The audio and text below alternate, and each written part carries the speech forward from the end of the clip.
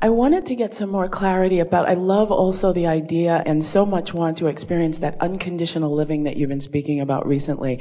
And wondering, just as you mentioned about not to read the reviews, but they're audible Because reviews. what you think of me is none of my business. Right, but audible reviews come in all the time, not just in print. So my question is like, How so? well, for example, there have been changes in my physical apparatus, and so I get a lot of positive feedback from time to time, and I don't want to be dependent upon that to feel good, but I want to allow it in at the same time. Well, we think it's a wonderful thing to appreciate. Just appreciate it. But there's a difference between receiving what's flowing to you and going looking for it. We've been saying to you for a while, you're looking for love in all the wrong places. Mm-hmm. Because often you look for love in a place where it isn't, and then you misunderstand and you think you're not loved. When you're just looking for it in a place where it wasn't. You find some person that's on the Henri disc and you go looking for love, they're not going to give it to you. And then often you misunderstand. You think that where, where if you're looking for it where it always is, you're always going to find it. That's really the point that we're making. And I get that, and I know that that's where it comes from, is from within. My question is more as to how to, like I hear you talk about source not responding to the behavior, but responding from the vibrational, you know, from that, from that. From what though? From what? This is the most important question of the day. Best ever. what is source responding from? Where's source coming from? The core of source, the love, the love, the So- appreciation, the joy, the bliss. The practiced vibration of alignment mm-hmm. and joy and love. So let's carry this train of thought just a little bit. So your inner being, the source within you, will not join you in any negative commentary about yourself or about any other. Because source has practiced this climate, this atmosphere so profoundly that that is who source is. Mm-hmm. That's what permeates all that is.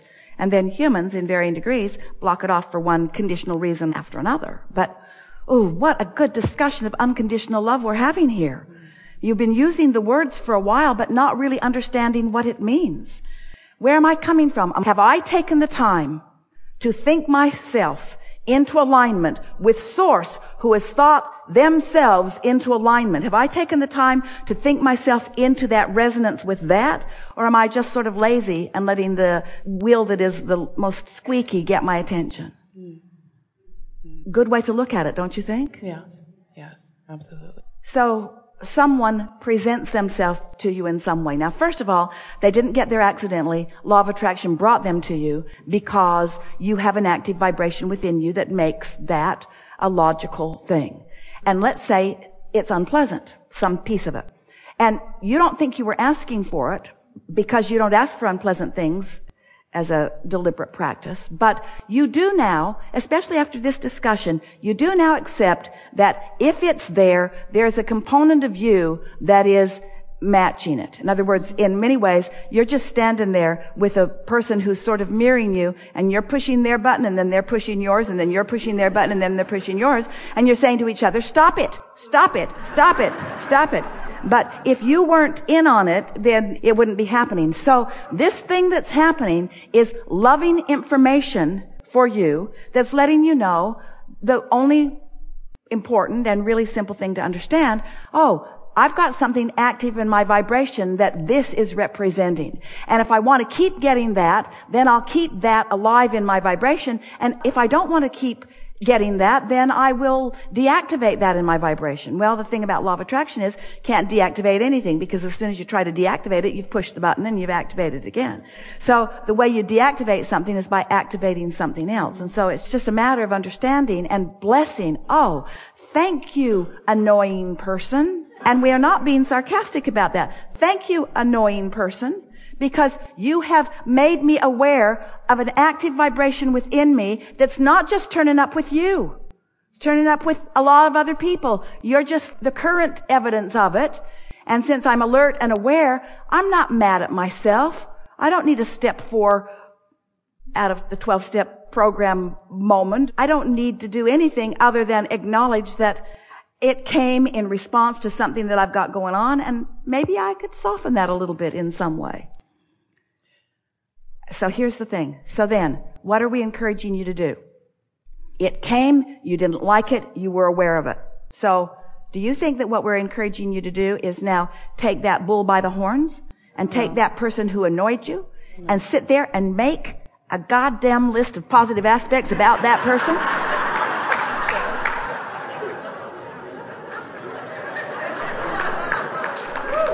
well, there's a little momentum there. Yeah. or is what we're encouraging you to do is Take the information, realize that you're edgier than you mean to be, and get up in the morning and try to hold yourself in a place of feeling good longer and then just keep watching. In other words, give it another day, give it another week, give it another two weeks, give it another three weeks. Show yourself your incremental softening of your resistance and your therefore incremental allowing of the things that you really mean to let in to come in. That was good. That was the best ever.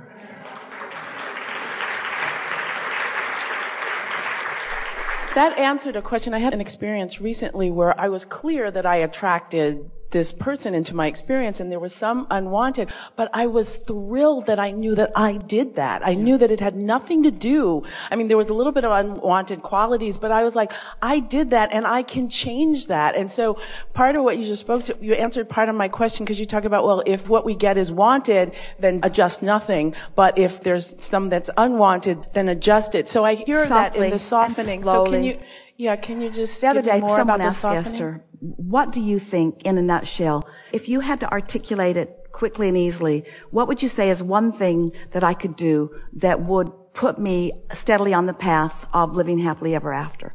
And the impulse came to Esther immediately. Make an enemy of no one. Don't find anyone and use that person as your reason to push against. Make an enemy of no one. Because all that happens when you find that condition or that person or that situation or that whatever it is to push against is that you practice a vibration that does not allow everything that you've been asking for and everything that you deserve to be current right now in your experience. You won't hold it off forever because well-being is yours to experience. You will eventually have what you call your death experience. We like to call it croaking because there is no death. And you will in one fell swoop release all resistance and you will be the receiver of all that you've been asking for. You will come back into alignment. We just don't think you should have to croak to do it. We think you should be able to practice yourself incrementally into that soft allowance of the well-being. And it's not a soft, flimsy, uneventful life experience. It's a vivid, exciting, momentous life. You have not been dabbling at life. You've put plenty into your vortex. There's plenty lined up for you. We're just saying you gotta slow it down a little bit to start noticing that you're letting it in. And once you got this letting in good, then you can start rampaging. Then you can start making lists of things that you want. Then you can take something that you know that you want that hasn't happened yet, and you can begin expressing it in vivid, clear terms and take pleasure from the expressing. And that's the piece that we so want you to hear. If you're affirming to the universe because you're trying to talk the universe into something or you're trying to overcome some obvious resistance that's been keeping you from living something. Now you're trying too hard. It's working against you. You want to say the words because it's pleasurable to say them. You want to think the thoughts because it's pleasure. You're soothing yourself into alignment. So you're using these mantras and you're using these affirmations because saying them just feels good. Because when you say them, you find resonance with the source within you. Ooh, that's so big. That's such an important thing. Mm-hmm. Sometimes you affirm to try to make things happen. And this whole conversation all day today has been about softening your point of attraction in order to let in what you've been asking for that is queued up right against whatever barrier you've got. So the art of allowing is softening that, softening that, softening that. And at first, the softening happens with general statements. But once you've got it, once you've been doing it for a while, for a week or two or three or four or five or six or seven or eight or nine or ten. Once you've got that, now you start living step four. Now you're walking around knowing that well-being is yours, knowing that you are the center of the universe, knowing that you are worthy, knowing that you are loved, knowing that you can be or do or have anything that you choose, and knowing that it is simply your work to define what it is and hold yourself in a frequency that allows it to come, and that you get to modify your thinking every step along the way in exactly the way that any masterful creator molds clay into the sculpture that is exactly the way he wants it to be. You are molding the clay through your thoughts, through your emotions, through your exposure to life, through your experience with all of these people who are helping you know how you're doing. You don't as creators in clay, you don't take a big clump of clay and throw it down on the table the first time and say, Oh, I thought it would be better. You expect to mold it a little bit. You expect to transform from your vortex idea of what you want to transform it into a reality. And this is the same thing, you see. Really good. Something more? Yeah, actually, with the discussion around food and actually recovery combined, I've been in the food division of the 12 step community for actually 22 and a half years. And for me, the food is different than the other substances of alcohol and drugs and whatever else because we have to continue to engage in it on so a daily basis. So we just basis. want you to think for a little while mm-hmm. because you said really a lot just now. Mm-hmm. 22 years and it's different. And so we just want you to start by thinking something like this. What conditions have I been manufacturing for myself to make this a hard topic? Because you are the creator of the conditions. You're the creator of the way you are looking at it, you see. That's why we always say, start with easier things. Start with easier things. Because if you start with something easier, you will gain quick confidence in your ability to focus and the realization of results will be really obvious. If you start with something that you've been 22 years in the trying to figure out, then sometimes it's a little harder place to focus. It doesn't feel hard to me. It feels easy. What I wanted some clarity around is the variety. Well, then, how about this statement? This is a good one for all of you. I could say that better. Okay. So you just said some things to us mm-hmm. and now say to yourself, wait, I can say that better. So say what you just said to us better. Say it better. And by better, you all know what we mean in a more soothing to yourself way, mm-hmm. in a more expecting of immediate results way. Mm-hmm. Say it better. We don't want the facts that don't apply. We want the current facts. We want you to take your current reality and mm-hmm. say it in a way that causes you to demonstrate to the universe a vibration that's going to yield to you what you want. Mm-hmm. That was clear, wasn't it? Mm-hmm. Yep. Yeah. Say it better. Okay, so I'm in a place where I love the food I eat. I love my body. I've recently switched gears in terms of vegan and not because of little animals, just right, because it feels good. Now you're just jumping it up for no reason. Okay. now, you're, now you're just making it harder for no reason. Okay. So get into a really general place and say it better. Okay. What I'm seeking is more ease, more freedom around right, around but make it current. In other words, you're making it sort of something that's out there.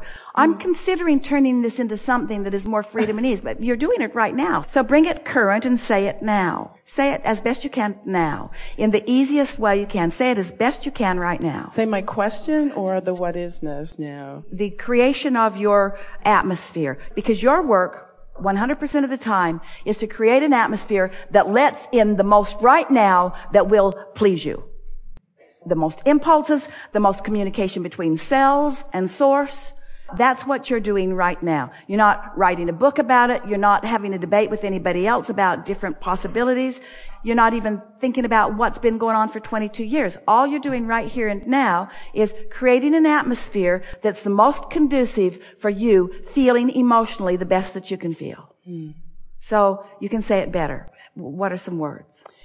Freedom comes to mind. Freedom. Freedom's a really good word mm. with a whole lot of attachments to it. So maybe you could find a word that's easier. We love you so much, but when you say freedom, what activates in most of you is the bondage that you are seeking freedom from. Mm. Mm-hmm. So you can say it better. Ease is the other word that comes. Yeah, ease is a good ease.